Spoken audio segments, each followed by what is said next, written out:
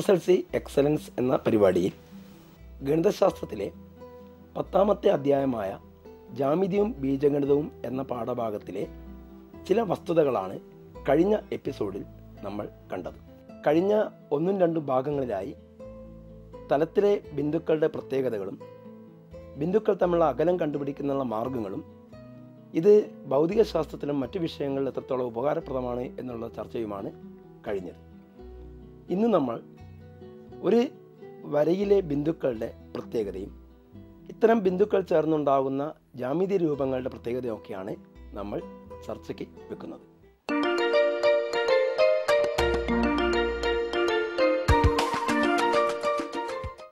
കഴിഞ്ഞ ക്ലാസ്സിൽ നമ്മൾ ഒരു വരയിലെ ഏതെങ്കിലും രണ്ട് ബിന്ദുക്കൾ തന്നു കഴിഞ്ഞാൽ ആ ബിന്ദുക്കൾ തമ്മിലുള്ള അകലം കണ്ടെത്താനുള്ള മാർഗം പഠിച്ചു കഴിഞ്ഞു.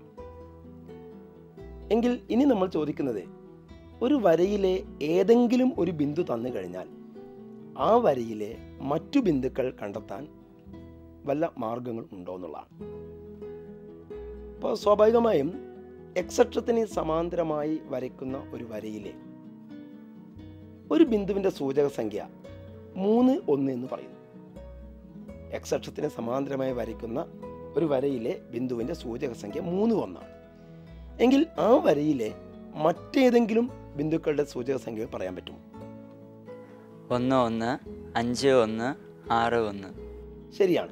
അതായത് മൂന്ന് ഒന്നിന്റെ വൈസൂചക സംഖ്യ ഒന്നായതുകൊണ്ട് ആ വരയിലെ മറ്റെല്ലാ ബിന്ദുക്കളുടെയും വൈസൂചക സംഖ്യകൾ ഒന്ന് തന്നെയായിരിക്കണം.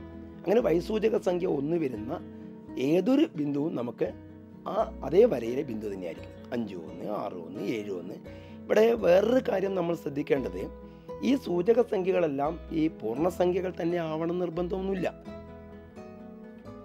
വൈ സൂചക സംഖ്യ ഒന്നാവണമെന്നേ ഉള്ളൂ. മൂന്ന് ബൈ രണ്ട് ഒന്ന് അഞ്ച് ബൈ രണ്ട് ഒന്ന് റൂട്ട് മൂന്ന് ഒന്ന് റൂട്ട് അഞ്ച് ഒന്ന് ഇങ്ങനെയൊക്കെ വരുന്ന ബിന്ദുക്കളും അതേ വരയിലെ ബിന്ദുക്കൾ തന്നെ ആയിരിക്കണം.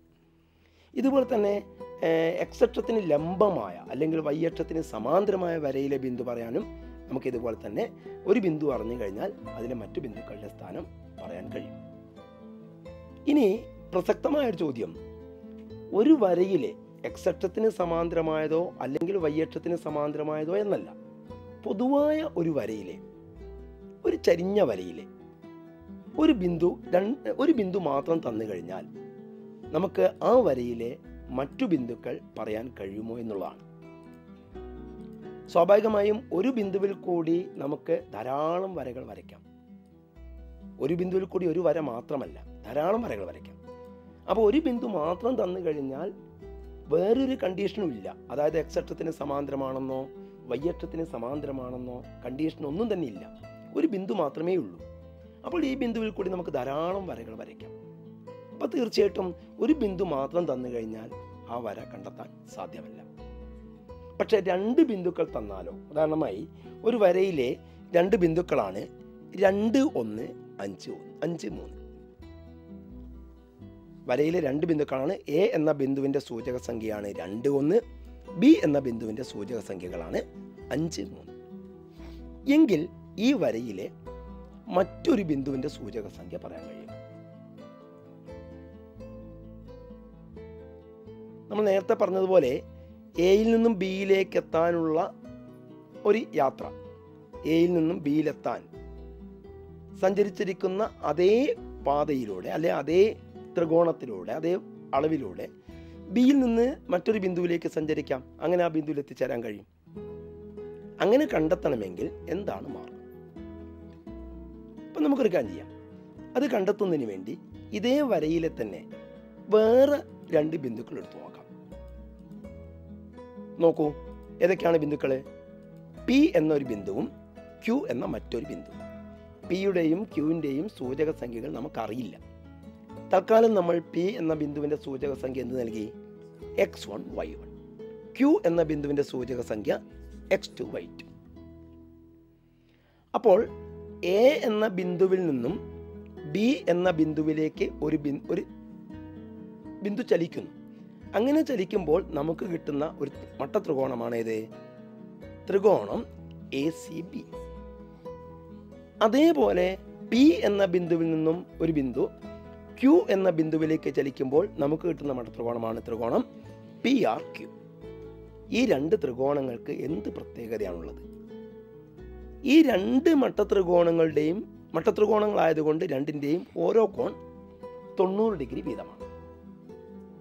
പിന്നീട് ഇത് രണ്ട് ത്രികോണങ്ങളുടെയും കർണം ഒരേ വരയിൽ തന്നെയാണ്.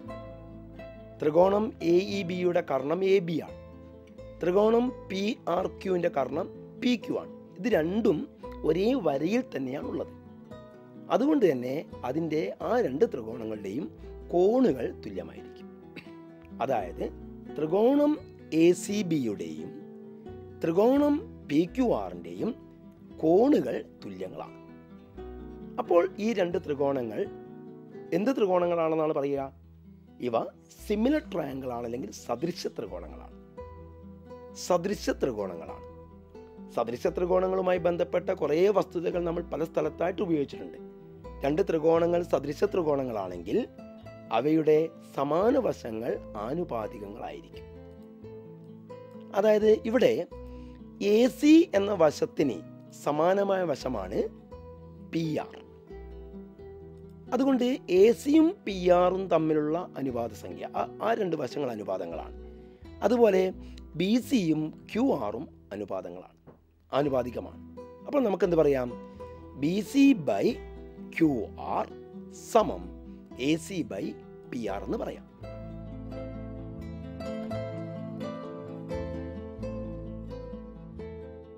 രണ്ട് ത്രികോണങ്ങളും സദൃശങ്ങളായതുകൊണ്ട് അവയുടെ സമാന വശങ്ങൾ ആനുപാതികമായിരിക്കും.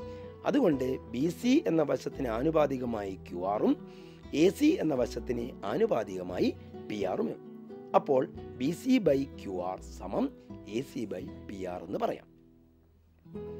ഇനി നമ്മൾ നേരത്തെ കണ്ടതുപോലെ B C A C P R Q R എന്നീ വശങ്ങളുടെ നീളങ്ങൾ നമുക്ക് എളുപ്പത്തിൽ കണ്ടുപിടിക്കാൻ കഴിയും. എ സി എക്സ് അക്ഷത്തിന് സമാന്തരമാണ്. എയുടെ എക്സ് സൂചക സംഖ്യ രണ്ടാണ് സിയുടെ എക്സ് സൂചക സംഖ്യ അഞ്ചാണ്. തീർച്ചയായിട്ടും എ സിയുടെ നീളം എത്രയായിരിക്കും? അഞ്ച് മൈനസ് രണ്ട്.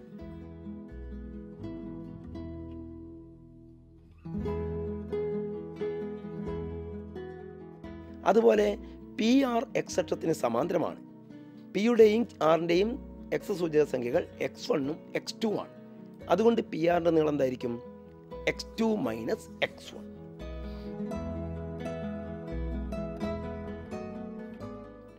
അതുപോലെ ബി സിയും ക്യു ആറും വൈ അക്ഷത്തിന് സമാന്തരങ്ങളാണ്.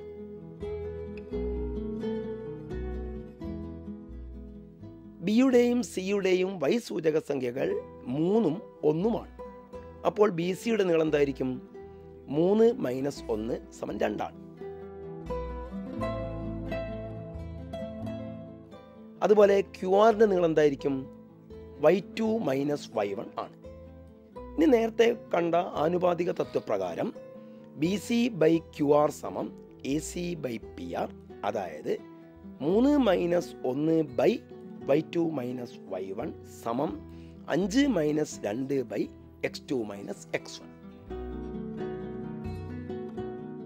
അതായത് രണ്ട് by Y two minus Y one സമം മൂന്ന് by X two minus X one ഇവിടെ ഒരു ചെറിയ മാറ്റം ഛേദങ്ങളും അംശങ്ങളും പരസ്പരം മാറ്റിയാൽ Y two minus Y one by X two minus X one സമം രണ്ട് ബൈ മൂന്ന് എന്ന് കിട്ടും.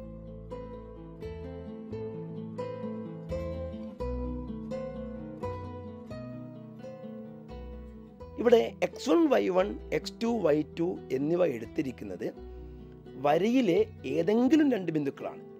ഈ ബിന്ദുക്കൾ വരയിൽ എവിടെയും ആവാം. വരയിൽ ഏത് പോയിന്റിലും വേണമെങ്കിലും ഈ എക്സ് പിയും ക്യൂവും വരാം. ഏത് പോയിന്റിലാ ഏത് സ്ഥലത്തായാലും ഈ വരയുടെ മുകളിൽ ഏത് സ്ഥലത്തായാലും Y two minus Y one by X two minus X one എന്തായിരിക്കും? രണ്ട് ബൈ മൂന്ന് തുല്യമായിരിക്കും. ഈ പിന്റെയും ക്യൂവിന്റെയും സ്ഥാനം മാറുന്നതിനനുസരിച്ച് രണ്ട് ബൈ മൂന്ന് എന്ന സംഖ്യയ്ക്ക് മാറ്റം വരില്ല. ഇതിനെ നമുക്ക് മറ്റൊരു രീതിയിൽ കൂടി കാണാൻ കഴിയും. നോക്കൂ നേരത്തെ കണ്ട വര ആ വരയിലെ ബിന്ദുക്കളാണ് എ രണ്ട് ഒന്ന് ബി അഞ്ച് ഈ രണ്ട് ബിന്ദുക്കളും ചേർന്നുണ്ടാകുന്ന വര നമ്മളൊരു തലത്തിൽ വരച്ചിരിക്കുകയാണ്. എക്സ് അക്ഷവും വൈ അക്ഷവും ഒരു തലത്തിൽ വരച്ചിരിക്കുന്നു. വരയ്ക്കുമ്പോൾ ഈ വരയെ നമുക്ക് എത്ര വേണമെങ്കിലും നീട്ടി വരയ്ക്കാമല്ലോ. അങ്ങനെ വരച്ച് കഴിയുമ്പോൾ അത് എക്സ് അക്ഷവുമായി ഉണ്ടാക്കുന്ന കോൺ നോക്കൂ. ആ കോൺ ഇവിടെ കാണിച്ചിരിക്കും എത്രയാണ് ആ കോൺ? ടി എന്ന് വിളിക്കാം. ഈ കോണിനെ ടി എന്ന് വിളിക്കാം. ഇനി എ ബി എന്നിവ എന്ന വര കർണമായി കൊണ്ട് നമ്മളൊരു മട്ടത്രികോണം വരയ്ക്കുക നേരത്തെ വരച്ചതുപോലെ എ സി ബി എന്ന മട്ടത്രികോണം വരയ്ക്കുക അപ്പോൾ കിട്ടുന്ന മട്ടത്രികോണത്തിന്റെ മട്ടകോണല്ലാത്ത കോൺ ബി എ സി എത്രയായിരിക്കും? ടി തന്നെയായിരിക്കും. എന്താണ് ഈ രണ്ട് കോണുകളും തുല്യമാവാൻ കാരണം? എക്സക്ഷത്തിന് സമാന്തരമാണ് എ സി എന്ന വര. തീർച്ചയായിട്ടും ഈ രണ്ട് കോണുകളും തുല്യമായിരിക്കും. അപ്പോൾ ഇവിടെ നേരത്തെ കണ്ട B C by A C എന്ന് പറയുന്നത് ഈ മട്ടത്രികോണത്തിലെ ടി എന്ന കോണിനെ അടിസ്ഥാനമാക്കി പറയുമ്പോൾ B C by A C എന്ന് പറയുന്നത് എന്തായിരിക്കും? ബി സി എന്ന് പറയുന്നത് ആ മട്ടത്രികോണത്തിന്റെ ടി എന്ന കോണിന്റെ എതിർവശമാണ്. എ സി എന്ന് പറയുന്നത് ആ ടി എന്ന കോണിന്റെ സമീപവശവുമാണ്. അപ്പം ടി എന്ന കോണിന്റെ എതിർവശം ബി സി ബൈ സമീപവശം എ സി അത് ആ ടി എന്ന കോണിന്റെ ടാൻ വിലയാണ്. ടാൻ വിലയാണ്. അപ്പോൾ നേരത്തെ കണ്ട വസ്തുതയെ നമുക്ക് ഇങ്ങനെ പറയാം. ഒരു വരയിലെ രണ്ട് ബിന്ദുക്കളുടെ വൈ വ്യത്യാസങ്ങളുടെ വൈ സൂചക സംഖ്യയുടെ വ്യത്യാസത്തെ എക്സ് സൂചക സംഖ്യയുടെ വ്യത്യാസം കൊണ്ട് ഹരിച്ചാൽ കിട്ടിയ വിലയായിരുന്നു രണ്ട് ബൈ മൂന്ന്. ഇപ്പോൾ ആ വര എക്സട്രോമായി ഉണ്ടാക്കിയ കോണിന്റെ ടാൻ വിലയും കിട്ടുന്നത് രണ്ട് ബൈ മൂന്ന് തന്നെയാണ്. ഈ വില വരയിൽ ഏത് സ്ഥലത്ത് എടുത്തു കഴിഞ്ഞാലും ഈ വരയുടെ മുകളിൽ ഏത് സ്ഥലത്ത് സ്ഥലത്ത് ഏത് ബിന്ദുവിൽ എടുത്തു കഴിഞ്ഞാലും ഈ വിലയിൽ മാറ്റം വരില്ല. എയും ബിയും വരയുടെ മുകളിൽ എവിടെ എടുത്തു കഴിഞ്ഞാലും താൻ ടീയുടെ വില രണ്ട് ബൈ മൂന്ന് തന്നെയായിരിക്കും. ഈ വിലയെ നമ്മൾ ആ വരയുടെ ചരിവ് എന്ന അർത്ഥത്തിലാണ് പ്രയോഗിക്കുന്നത്. ചരിവ്. അതായത് ഒരു വര എക്സട്രത്തിൽ നിന്നും മുകളിലോട്ട് വരഞ്ഞ് ചരിഞ്ഞിരിക്കുന്ന ആ അളവിനെ വൈ വൈയക്ഷത്തിലൂടെയുള്ള അല്ലെ എക്സട്രത്തിലൂടെയുള്ള ദൂരം കൊണ്ട് ഹരിക്കുക. വൈ വ്യത്യാസത്തിനെ എക്സ് വ്യത്യാസം കൊണ്ട് ഹരിച്ചാൽ കിട്ടുന്ന വില ആ വര എക്സട്രവുമായി ഉണ്ടാക്കുന്ന കോണിന്റെ താൻ വിലയ്ക്ക് തുല്യമായിരിക്കും. ഈ തുല്യമായ വിലയാണ് ആ വരയുടെ ചരിവ് എന്നതുകൊണ്ട് നാം ഉദ്ദേശിക്കുന്നത്. അപ്പോൾ ചരിവ് എന്ന് പറഞ്ഞാൽ തികച്ചും ഒരു ഗുണവിശേഷമാണ്. ഒരു വരയുടെ ചരിവ് ഒരു ഭിത്തിയുടെ ചരിവ് ഒരു മരത്തിന്റെ ചരിവ്. ഇതൊക്കെ ഒരു ഒരു ക്വാളിറ്റിയാണ് ഒരു സ്വഭാവ ഗുണമാണ്. ഈ ഗുണവിശേഷത്തെ ഗണിതം ഉപയോഗിച്ചുകൊണ്ട് ഗണിത സഹായത്തോടു കൂടി കൃത്യമായ സംഖ്യയാക്കി മാറ്റിയിരിക്കുകയാണ്. ഇങ്ങനെ ക്വാളി അളവ് ഗുണവിശേഷങ്ങളെ ഗുണങ്ങളെ സംഖ്യകളാക്കി മാറ്റുന്ന ഒരു രീതി അല്ലെ സംഖ്യകളാക്കി മാറ്റുന്ന ഒരു ശ്രമം.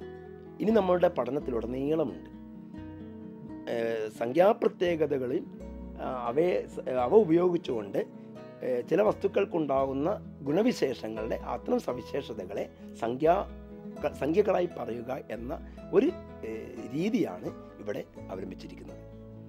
അപ്പോൾ നമ്മൾ ഇനി മുതൽ ചരിവിനെയും കൂടി നമ്മൾ സംഖ്യകളാക്കി മാറ്റിയിരിക്കുകയാണ്.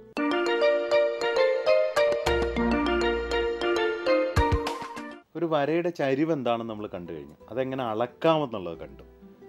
രണ്ട് രൂപത്തിൽ നമ്മൾ അതിനെ പറഞ്ഞു. ഒന്ന് എക്സക്ഷമായിട്ടുണ്ടാക്കുന്ന കോൺ അറിയാമെങ്കിൽ അതിന്റെ ടാൻ വിലയായിട്ട് പറയാം.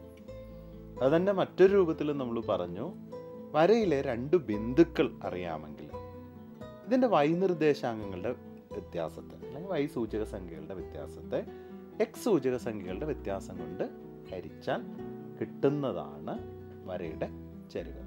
അത് ബീജഗണിതം കൂടി ഉപയോഗിച്ചുകൊണ്ട് പറയുകയാണെങ്കിൽ വരയിലെ രണ്ട് ബിന്ദുക്കൾ എക്സ് വൺ വൈ വണ്ണും എക്സ് ടു വൈ ടുവും ആണെങ്കിൽ അതിന്റെ ചരിവ് എന്ന് പറയുന്നത് Y two minus Y one ഹരിക്കണം X two minus X one ആണ്.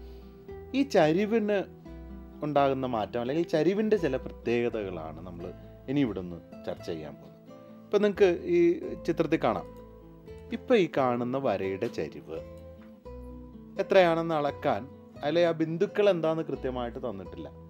പക്ഷെ താഴെ നമുക്ക് ആ കോണളവുണ്ട്. കോണളവ് എത്ര എവിടെ നാൽപ്പത്തഞ്ച് ഡിഗ്രി. അപ്പോൾ അത് വെച്ച് ചരിവ് പറയാം. ഇവരുടെ ചരിവ് ചരിവ് എന്നുള്ളതിന് സ്ലോപ്പ് എന്നും പറയും. സ്ലോപ്പ് ടാൻ നാൽപ്പത്തഞ്ച് ഡിഗ്രി. ടാൻ നാൽപ്പത്തഞ്ച് എത്രയാണെന്ന് അറിയാമല്ലോ? ഒന്നാണ്. ആ അപ്പോൾ ഈ വരയുടെ ചരിവ് ഒന്നാണ്. ഇനി ഞാൻ ഈ വരയെ ഒന്ന് പതുക്കെ ഒന്ന് തിരിക്കുകയാണ്. ഈ കോണളവ് എന്താ സംഭവിക്കുന്നത് ഇപ്പോൾ? കോണളവ് കൂടുന്നുണ്ട്. നാൽപ്പത്തഞ്ചിന് മുകളിലേക്ക് പോകുന്നുണ്ട്. അപ്പൊ ചരിവിന് എന്താ സംഭവിക്കുന്നത്? നമുക്ക് വേറൊരു രൂപത്തിൽ അതിനെ ഒന്ന് കണക്കാക്കാം. ഇപ്പൊ ടാൻ ഇപ്പൊ അമ്പത്തഞ്ചാണ്. ടാൻ അമ്പത്തഞ്ച് എത്രയെന്നൊന്നും നമ്മൾ പഠിച്ചു വെച്ചിട്ടൊന്നുമില്ല. ചില വിലകളൊക്കെ നമുക്ക് കാണാതെ അറിയുള്ളൂ അല്ലേ? അപ്പൊ ഇങ്ങനെ കോണളവ് കൂടുമ്പോൾ ചരിവിന് എന്ത് കൂടുന്നു എന്നുള്ളത് മറ്റൊരു രൂപത്തിൽ നമുക്ക് മനസ്സിലാക്കാൻ ശ്രമിക്കാം. ഇവിടെ നമ്മൾ പറഞ്ഞതനുസരിച്ച് ഈ വരയുടെ ചരിവ് കണക്കാക്കാൻ ഇതിലെ രണ്ട് ബിന്ദുക്കളുണ്ടല്ലോ. എക്സ് വൺ വൈ വണ്ണും എക്സ് ടു വൈ ടുവും ഉണ്ട്. ഇതിന്റെ വൈ സൂചക സംഖ്യകളുടെ വ്യത്യാസം എന്ന് പറഞ്ഞാൽ ഈ ഒരു ത്രികോണം. അതിൽ ഇത്രയും ദൂരമാണ് വൈ സൂചക സംഖ്യകളുടെ വ്യത്യാസം. അല്ലേ? ഈ ത്രികോണത്തിലെ ഇവിടെ നിന്ന് ഇവിടം വരെയുള്ള അതാണ് വൈ ടു മൈനസ് വൈ ഇവിടെ നോക്കിയാൽ അറിയാം ഈ വൈ ടു മൈനസ് വൈ എന്ന് പറഞ്ഞാൽ ഇവിടെ നിന്ന് ഇങ്ങോട്ടുള്ള നീളമാണ്. അപ്പോൾ ഇതിൽ കൃത്യമായിട്ടുണ്ട്. ഇപ്പോൾ അതിന്റെ വില ഒന്ന് പോയിന്റ് നാല് മൂന്നാണ്. എക്സ് സൂചക സംഖ്യകളുടെ വ്യത്യാസം. ഈ വ്യത്യാസം നമ്മൾ ഒരു യൂണിറ്റ് ആക്കി നിർത്തിയിട്ടുണ്ട്. അങ്ങനെ എടുക്കുന്നുണ്ടുള്ള സൗകര്യം എന്താ? നമുക്ക് ഹരിക്കാൻ എളുപ്പമുണ്ട് അല്ലേ? അപ്പൊ ഇപ്പൊ നമ്മൾ എക്സ് സൂചക സംഖ്യകളുടെ വ്യത്യാസം ഒന്നാണെങ്കിൽ അതിന്റെ ചരിവെന്ന് പറയുന്ന വൈറ്റ് സൂചക സംഖ്യകളുടെ വ്യത്യാസം മാത്രം കണ്ടാൽ മതി. കാരണം ഹരിക്കുന്നത് ഒന്നാണ്. ഈ എക്സ് സൂചക സംഖ്യകളുടെ വ്യത്യാസം മാറാത്ത പോലെയാണ് നമ്മൾ ഇനി മുന്നോട്ട് പോകുന്നത്. അതെപ്പോഴും ഒന്നാക്കി നിർത്തിക്കൊണ്ടാണ് രണ്ടാമത്തെ പോയിന്റ് എടുക്കുന്നത്. അപ്പൊ നോക്ക്. കണ്ടോ? അപ്പൊ പിന്നെ ഈ ഈ നീളത്തിന് എന്ത് സംഭവിക്കുന്നു എന്ന് മാത്രം നോക്കിയാൽ മതി. പൈ സൂചക സംഖ്യകൾ അത് പെട്ടെന്ന് നമുക്ക് കാണാൻ പറ്റും. ഈ കോണളവ് കൂടും തോറും ഈ പോയിന്റ് മുകളിലേക്ക് ഇങ്ങനെ പോയിക്കൊണ്ടിരിക്കുകയാണ്. അപ്പൊ തീർച്ചയായിട്ടും അതിന്റെ ടാൻ വില അല്ലെങ്കിൽ നമ്മളിപ്പോൾ കണ്ട ചരിവ് കൂടണം. അതിങ്ങനെ കൂടി കൂടി കൂടി എവിടം വരെ ഇതിന് കൂടാൻ പറ്റുമെന്നൊന്ന് മനസ്സിൽ കണക്കാക്കാൻ പറ്റുമോ? ഈ കോണളവ് ഇങ്ങനെ കൂടി കൂടി കൂടി കൂടി കൂടി വരുമ്പോൾ ആ തൊണ്ണൂറ് ഡിഗ്രിയോട് അടുക്കും തോറും ഇത് വളരെ വലുതായിട്ട് വരികയാണ്. അല്ലേ?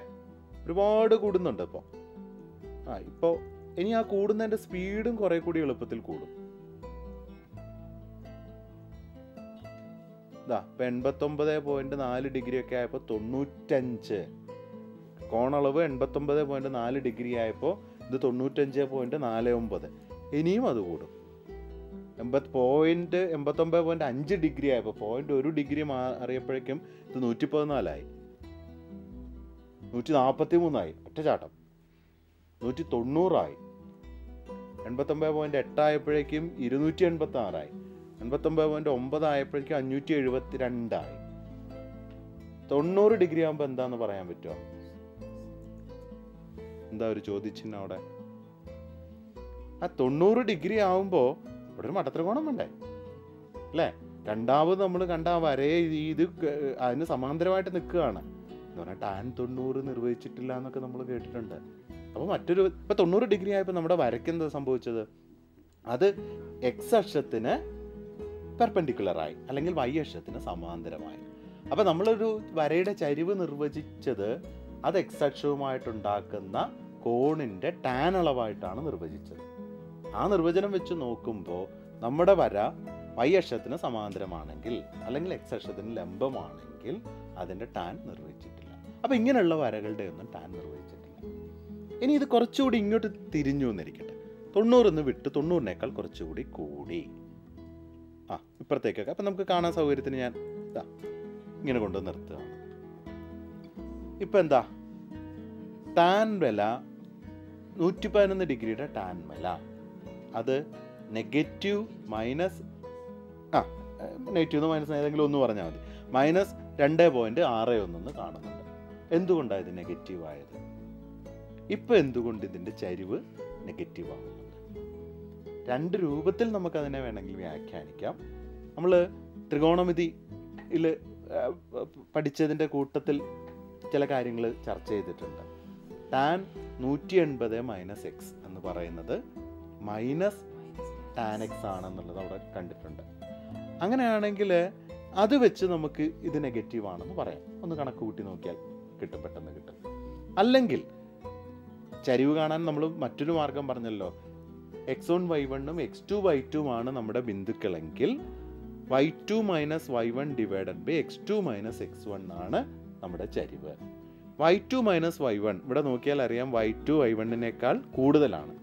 അപ്പോൾ Y two minus Y one പോസിറ്റീവാണ് പക്ഷേ എക്സ് ടു മൈനസ് എക്സ് വണ്ണോ വര ഇപ്പുറത്തേക്ക് ചരിഞ്ഞപ്പോൾ X two minus X one എന്ന് പറയുന്നത് എക്സ് ടു എക്സ് വണ്ണിനേക്കാൾ കുറഞ്ഞല്ലോ. X two minus X one എന്ന് പറയുന്നത് നെഗറ്റീവാണ് അപ്പോൾ ഒരു പോസിറ്റീവ് സംഖ്യ നെഗറ്റീവ് സംഖ്യ കൊണ്ട് ഹരിച്ചാൽ നെഗറ്റീവ് സംഖ്യ കിട്ടുള്ളൂ. അപ്പോൾ വരയുടെ ചരിവ് ഇങ്ങനെയാണെങ്കിൽ ചരിവ് കോണളവിൽ നമ്മൾ പറയുകയാണെങ്കിൽ വര എക്സ് അക്ഷവുമായിട്ടുണ്ടാക്കുന്ന കോണളവ് തൊണ്ണൂറ് ഡിഗ്രി തൊണ്ണൂറ് ഡിഗ്രി ആണെങ്കിൽ ചരിവ് നിർവഹിച്ചിട്ടില്ല.